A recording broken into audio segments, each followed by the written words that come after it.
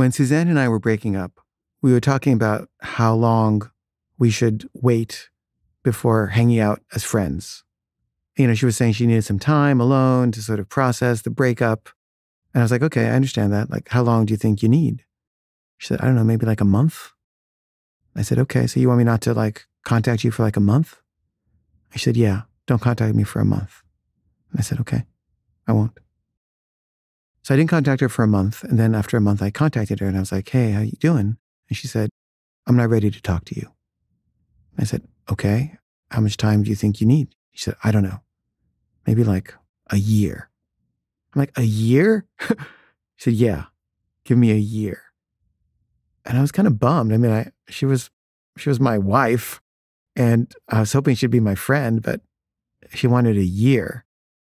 But I was like, okay, I mean, if you feel like talking before then, feel free to reach out to me, but I'll give you a year if that's what you want. She said, yeah, I want a year. I said, okay. So I waited a year and then I called her and I said, how's it going? She said, I'm not ready to talk to you. I was like, well, how long do you? She said, I don't know. I'll call you. You don't call me. And she was kind of hostile, like more hostile than she had been when we were breaking up. And I was like, okay, fine.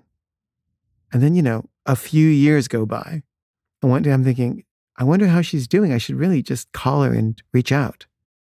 So I call her and she's like, What do you want? Why are you calling me? I don't want to talk to you. I told you. I said, Well, I'm just calling to say hi. And she said, No, I, I can't talk to you. Leave me alone. And I was like, What the hell is going on? And I, you know, she hung up on me.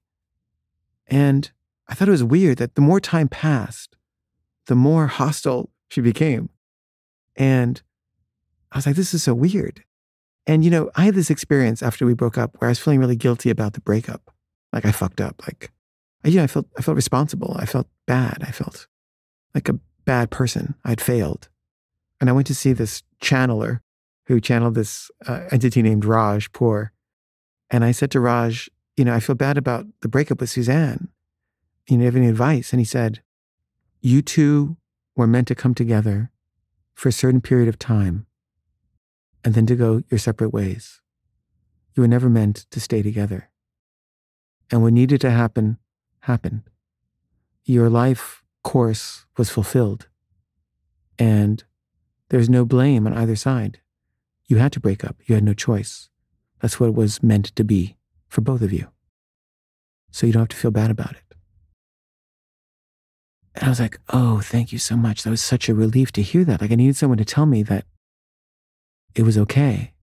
I didn't have to feel bad. But I'm assuming Suzanne never had that.